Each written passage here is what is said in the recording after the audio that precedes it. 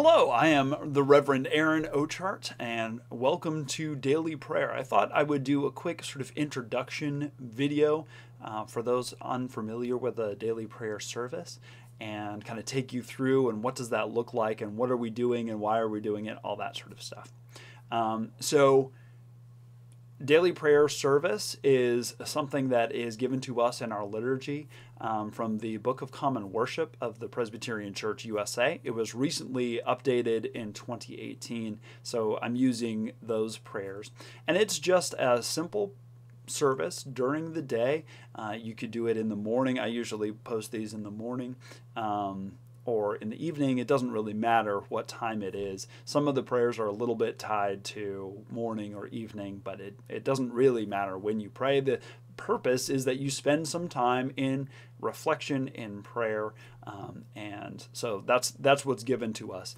Our, our, of course, our liturgy is sort of rooted back to um, our Book of Common Worship is sort of based on the uh, the what is it called? The Episcopal Book of Common Worship um, of sort of simple prayers, and then back to Catholic liturgy.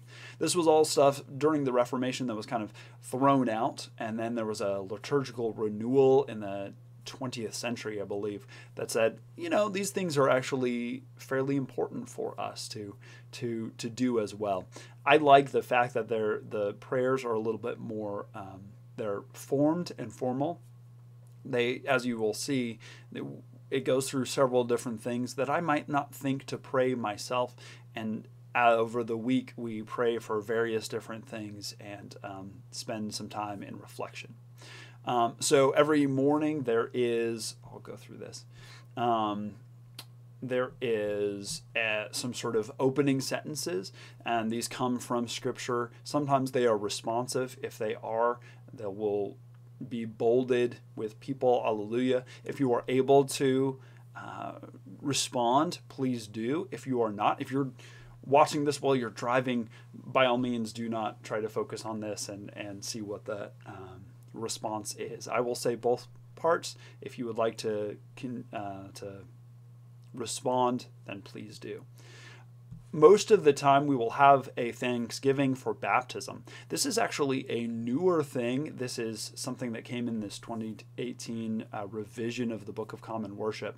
It's very much based on the um, the Great Prayer of Thanksgiving, which uh, the the sort of Reformed tradition and and um, and mainline denominations kind of use for the Lord's Supper um, this the Lord be with you and also with you. That may be familiar to you, um, but this is specifically thanking God for our baptism.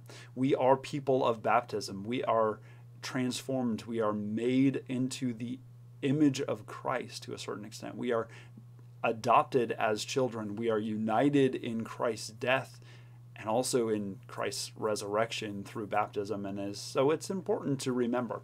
And so it is this sort of again formed prayer, the Lord be with you and also with you. Let us give thanks to the Lord our God. It is right to give our thanks and praise. That's going to be the same every day.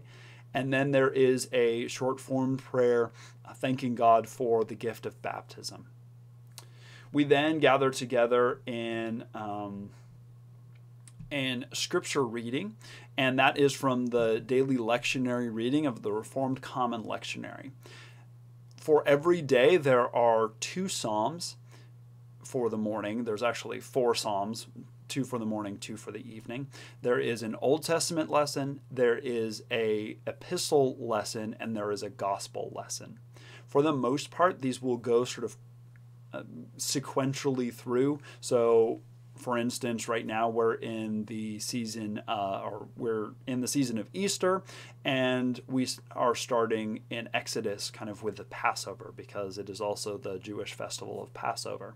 And so we kind of work our way, um, you know, it's chapter 1, verse 12, or to verse 12, or whatever, one day, and then the next day it'll start up and verse 13. Sometimes it skips over, sometimes there are optional readings, that sort of thing, but for the most part, it kind of moves its way on through various things.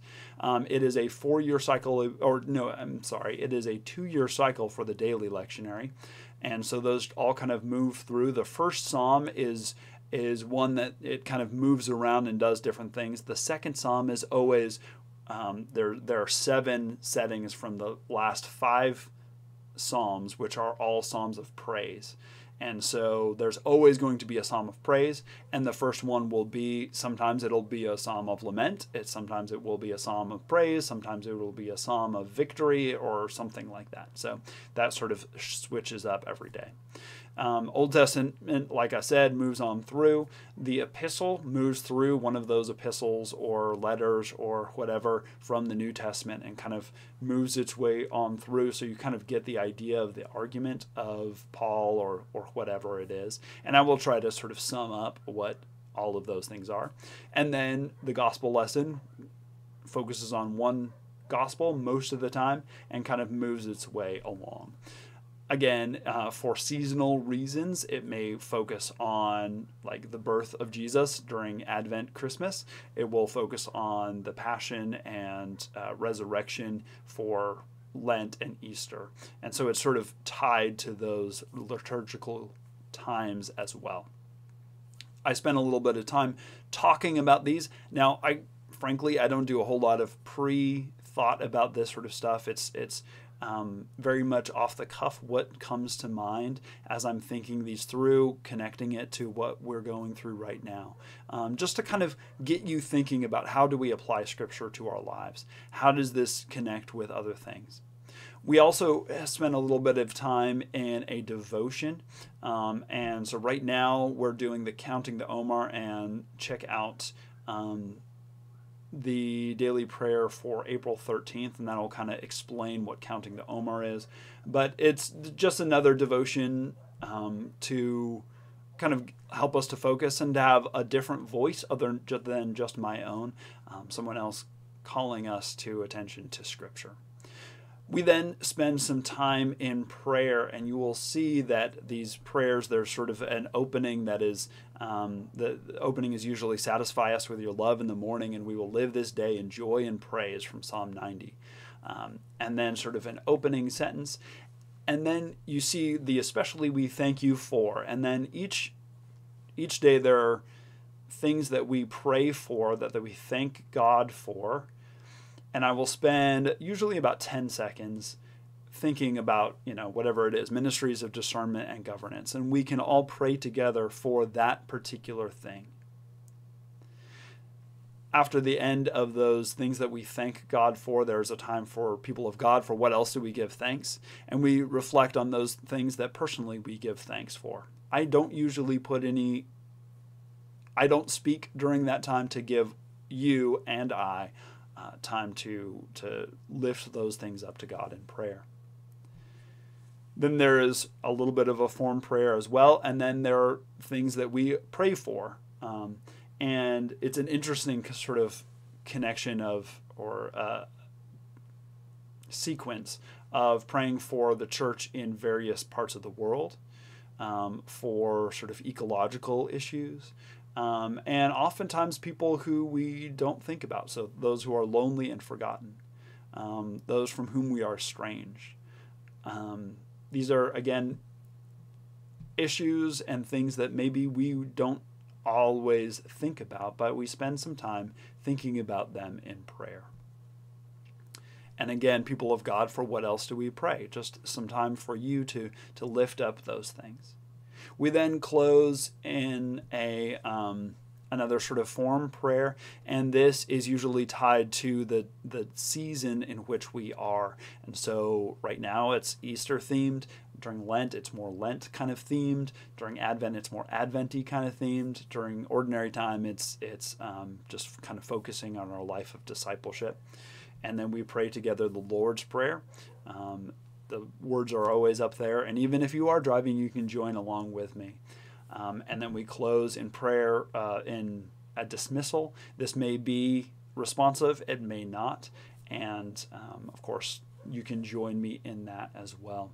So that's kind of what the prayer service looks like. Um, if I'm doing my job, or terrible way to say that. Um, if I'm working ahead of time, that's better. Um, I will post these at 8 o'clock and they'll come out on our YouTube channel.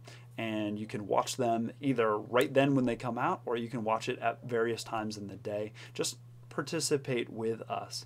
There's something really amazing and wonderful about joining together in worship and in prayer, even if we're not physically in the same place. But you are connected with all the other people who are um, praying together these same prayers. Not only people who are watching this particular video and who may have watched it before you or may have wa- will watch it after you, we're also united with all those who are united in this same prayer. And we are praying together for the church in various parts of the world. We are praying for those people who we are uh, who we have forgotten, those who are sick, for ministers, for all sorts of different things as we work our way through these daily prayer services. So that's kind of the idea of that. It's just a time that we can all spend together, um, even though we might be separate, praying for God's people, for God's work in the world, hearing scripture together, um, seeking and understanding what God is calling us to be and to do. So that is the daily prayer service. I hope that you will find it useful, that you will pray along with us, and that you will seek God's face every day through scripture and through prayer. Thank you so much for joining me. Um, I will always ask for you to like videos, share them, um, and subscribe if you haven't done so already, and click the notification button. And all of those things are very helpful, not only for you to find these things again, but for other people to find these things.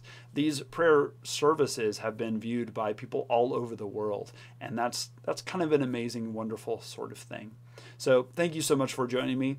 Um, definitely join for daily prayer together as we join and seek God's face every day. Thank you so much.